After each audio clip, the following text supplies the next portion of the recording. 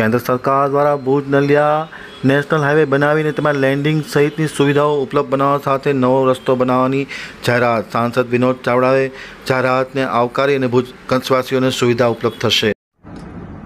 કેન્દ્ર સરકાર દ્વારા દેશના પ્રધાનમંત્રી શ્રી આદરણીય નરેન્દ્ર મોદી સાહેબના નેતૃત્વની અંદર, દેશની અંદર અનેક રાષ્ટ્રીય ધોરીમાર્ગોનું નિર્માણ થઈ રહ્યું છે.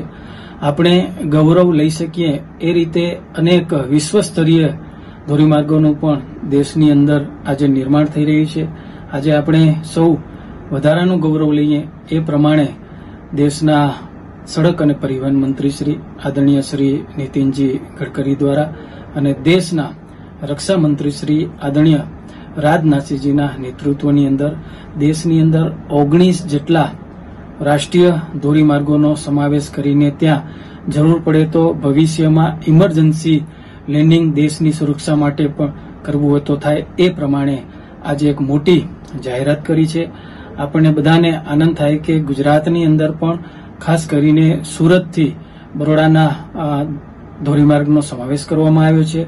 કચ્છની અંદર પણ જ્યારે નલિયાથી ભુજના આ ધોરીમાર્ગનો જ્યારે ઇમરજન્સી લેન્ડિંગની સુવિધા પ્રાપ્ત થાય એ પ્રમાણે એનો સમાવેશ કરવામાં આવ્યો છે.